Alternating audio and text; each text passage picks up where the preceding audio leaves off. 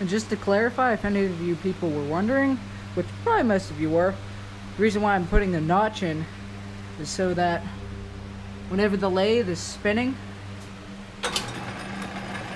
all the oil and debris can fly off and hit there instead of the floor. Now this this will make it a lot easier, but problem is now my hand is hitting. There's only about less than an inch's worth of gap.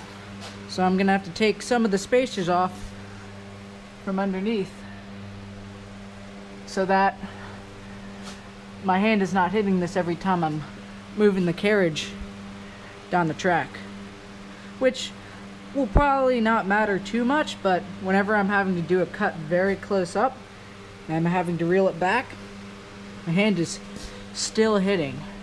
So I knew I was gonna have to do this. It was just a matter of when. Also, in the back over here, it is um, the one piece is actually touching the base of the arm that holds the pulley and the motor. So there's just about, I'd say a half an inch worth of extra gap there. But that plate will help to catch most of that too. So, which what is what that is is just a small piece of uh, flat stock that I cut up and trimmed so it could shim down in there. So oil and uh, fluids would not drip down in between and to the back of the lathe. So, yep, that's where we are right now.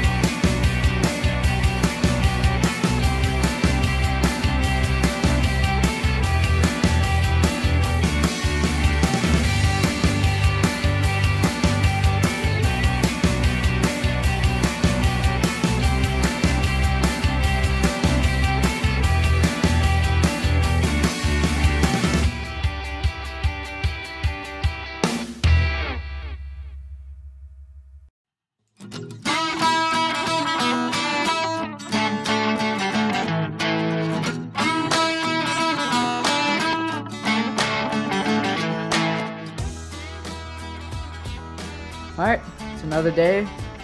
Just, uh, yesterday we got this plate all cleaned up, ready to wel get welded. And um, so what we're going to do is get the alignment, make sure it's to the height with those two little plates right there. And um, then we'll uh, I'll get it welded up, adjusted to need be, and then we'll get that completely welded up with that plate right there. And we'll get the sides cut out with uh, use that plate and then we also cleaned up so that's just about the plan and uh, none to it but to do it. Also apologies the lighting is not the best in here. I'm planning to get some nice lights but uh, it all costs money so. We all know it don't grow yeah, wish it did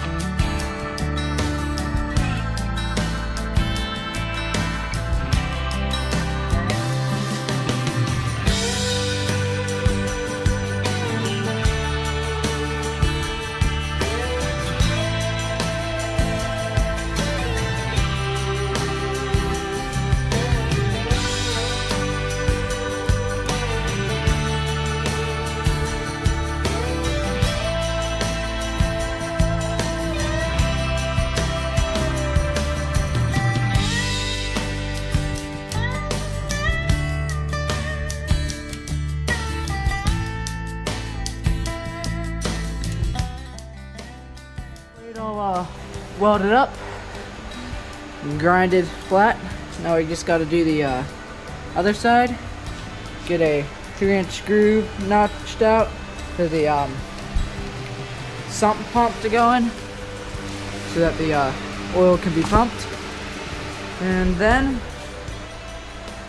we will be done. So main part of this is pretty much done and now it's just the uh, reinforcement.